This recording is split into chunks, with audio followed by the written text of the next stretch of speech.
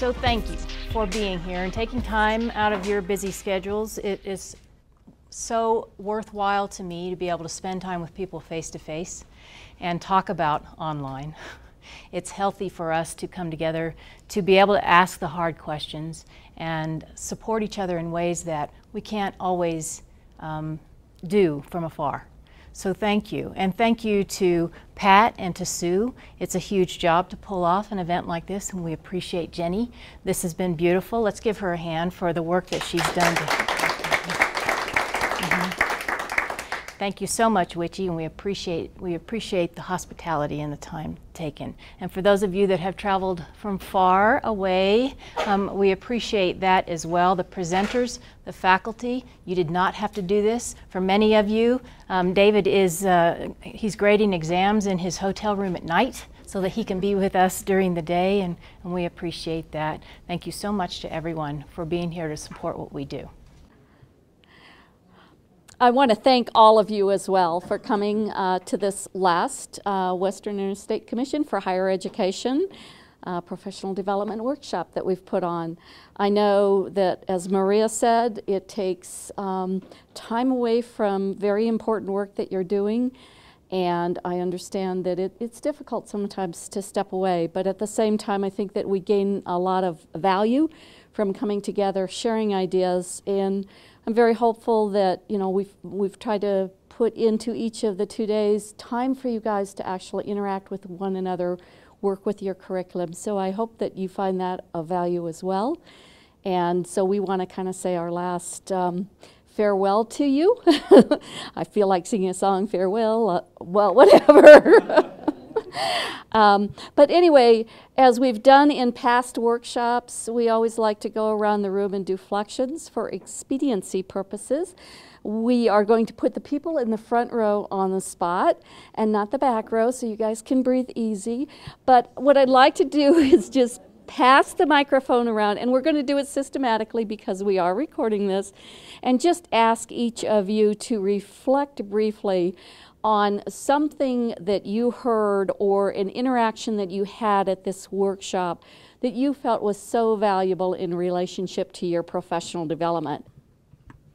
Um, there was a lot of really good content at this workshop that I appreciated. I think it probably would have been really helpful about a year ago, um, but better late than never. So I plan to take back what I learned, especially yesterday with accessibility, and roll that in while we still have some time left on the grant.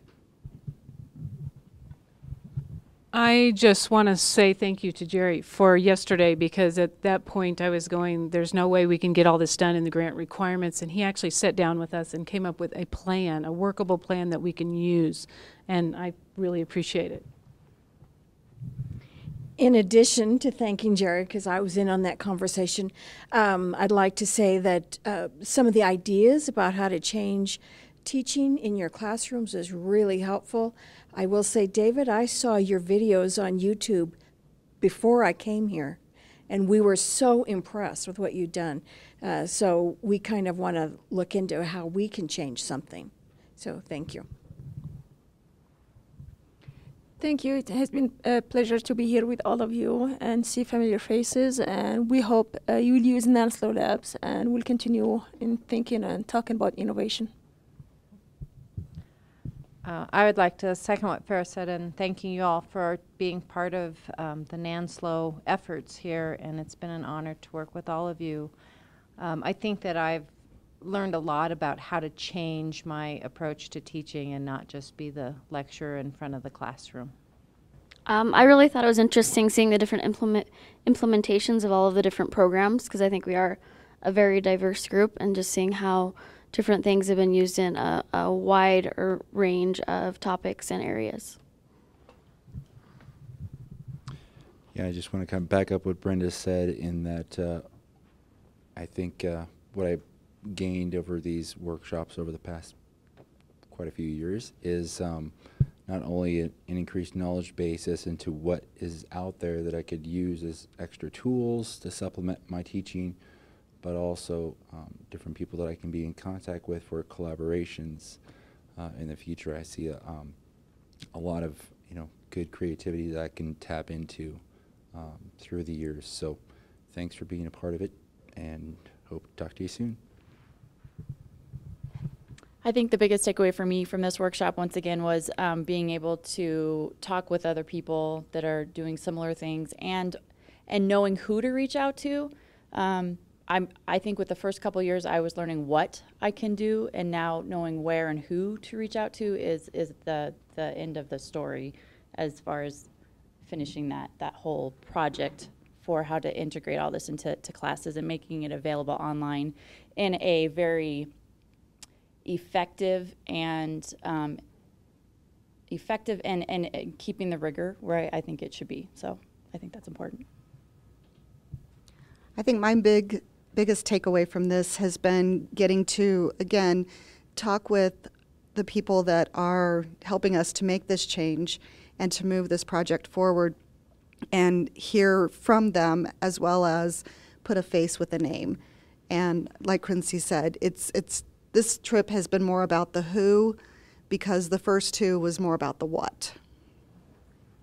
Universal design and accessibility that I didn't know, and I realized I got a lot of things to fix. In a lot of things that I did that won't work for my hybrid course, but they're going to help me fix them, so that was great.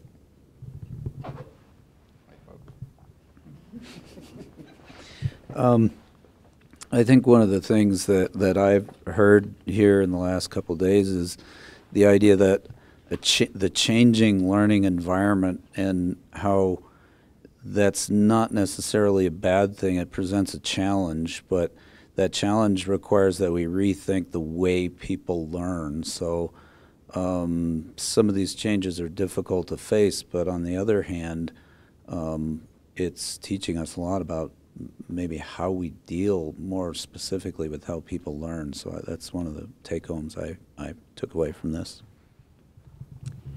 I don't think there was a single session that I didn't find valuable. Um, I agree, the UDL, uh, the, having, having Paul here, having Jerry here, having the CAST people here, having the NANSLO people here.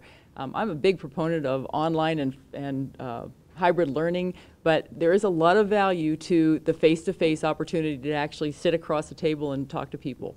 And so I, I appreciate everybody being here and sharing with us uh, today or this last couple days. I also want to give a special thanks to Paul and to Jerry. Uh, Paul's been with us on several of the workshops, and we really appreciate his dedication and commitment to OER and Jerry and his forward thinking about education and, and what's happening in the world and how we do need to change. And also, since it is our last one, I also want to give a special thanks to Pat Shea.